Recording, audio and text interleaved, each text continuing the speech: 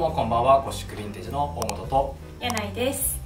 はいということでまたこの2人が集まってはい。動画を撮ってるということは、ちょっと企画じゃないです今回は。今回は、まあ、あのその2人のことをまあちょっとさらに知ってもらえたらいいなっていうところを含めあとはやっぱこうヴィンテージを着てる方って夏何着るかって困られてる方がすごく多いかなと感じているので、まあ、ちょっと実際に僕ら夏何着るのっていうような話をちょっと雑談みたいな形で、あのゆっくりとしていってで最後ちょっとまあお店の商品使いながら、まあ、夏のスタイリングもまあ一つなんかご提案できたらなと思っております。はい。はい、ということで別に企画じゃなく雑談なんでちょっとでゆるーく はい。喋る感じにいきましょう。多分柳井さんそんなにまだヴィンテージヴィンテージっていうかまだそんなにあれかなと思うんですけど夏こういうの着てたよとかこういうの着たいよみたいなのってありますか？夏私は今日はちょっとあのビビッドなピンクのワンピースを着てるんですけどもともとはすごくカジュアルでメンズもののお洋服とかもすごく好きなのでそれこそ T シャツを夏は買いあさったりとかそれでもうパンツジーンズでもいいですしはいはい。とかもう本当にすごくシンプルカジュアルジューシーでいつも着てる感じなんですけど逆に大本さんって何着てます？もうこんな感じですね。もうこの感じ、はい、シャツ。まあ夏大体こういう半袖シャツ。で今日インナーは普通の半袖のクルーネックのうん。インナー着てるんですけど、まあ、これをタンクトップにしてうん。前を開けれるか閉じてるかうん。っていう程度と、まあ、あとは無地の T シャツをちょこっと着る程度と、まああとはプリント T とかもやっぱりちょこっと着る感じで。どちらかというと少しカジュアル寄りというかな服装がやっぱ多いかなっていう気がします夏ね。はカジュアルになりますですね。ね。どうしてもトップスで厚さをしのごうと思ったら、うん。なんかあんまり重ね着もできないしそうですよね。多分一番頑張ってポロシャツかこういう半袖シャツ。うんで、まあちょっときれいめに寄せるかなぐらいで、まあ、それ以外大体やっぱカジュアルうんになりがちかなと思いますよね、そうですね。私もやっぱりカジュアルになりすぎちゃうこともやっぱりコーディネートを組んでるとあるのでなので夏場は結構色物をうんしっかりあのトップスだったりとかパンツどっちかにはあの入れるようにっていうのは結構ポイントとしてるかもしれないですね。いいあのその色物を使える人ってすごくおしゃれだなと思ってて個人的に。僕があんまり色物を使うのが得意じゃないんで。あそうなんですか？そうなんです。あんまり得意じゃなくてなんかそれこそこうヴィンテージであるような色合い、なんか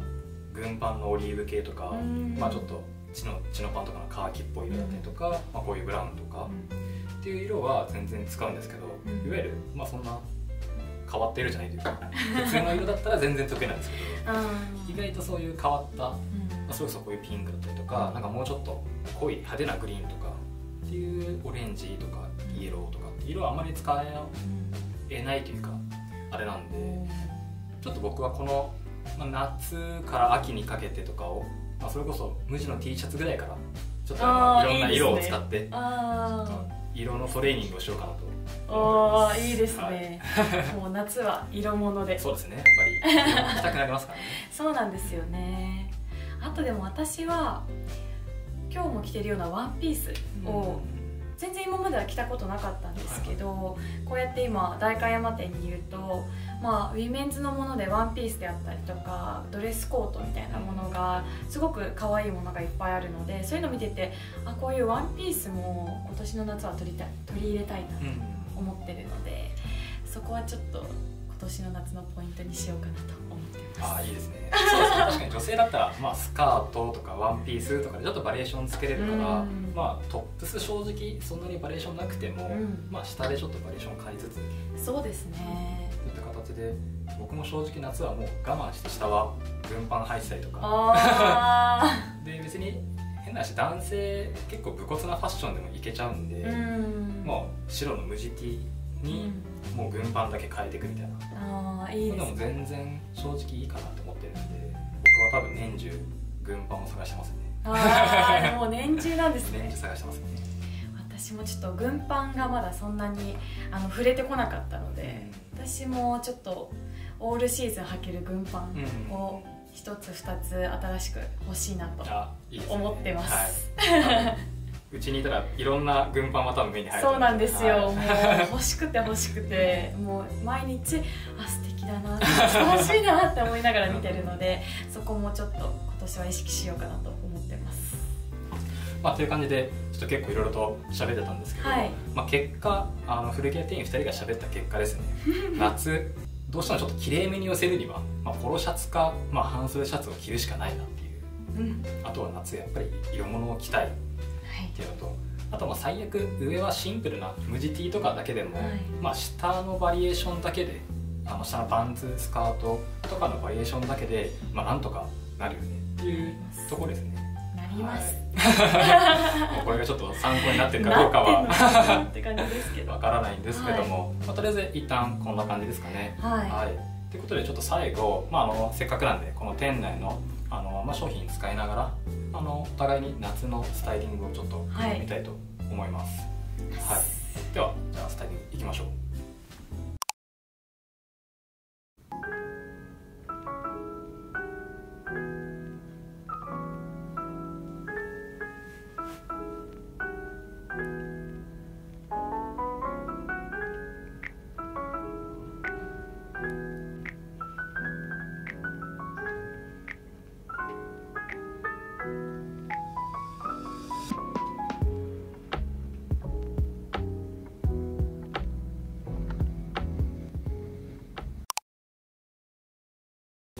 はいということであの2人のちょっと全身見てもらったかと思うんですけども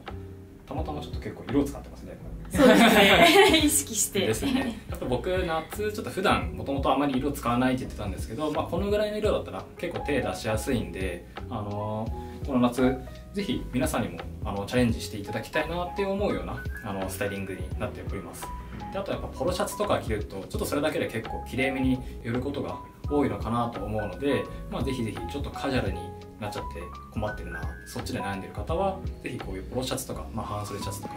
あのーぜひぜひ探してみていただけるといいんじゃないかなと思います。あと僕個人的にあの夏は、まあ、いわゆる普通の革靴あの紐で縛るような革靴をあんまり履かなくて、まあ、履いたとしてもローファー程度でそれ以外サンダルか、まあ、大体スニーカーとかっていった感じになるので下のパンツもちょっとこうスラックスというかちょっと綺麗なパンツで合わせてあげると結構この夏は比較的綺麗めなスタイリングを楽しんでいただけるんじゃないかと思います。柳さん何かありますか？そうですね。私はあの大本さんと同様に今トップスの方に色味を持ってきたんですけど、まあ男性も女性も割と夏場っていうのはあの明るい色でもあったりとか結構強めの色を入れてもかなり挑戦しやすい時期なんじゃないかなっていうふうに思ってるのでぜひ皆さんこれぐらい結構このオレンジ色のトップスあのはっきりしたビビッドなオレンジなんですけどこういうの入れても全然夏は派手すぎず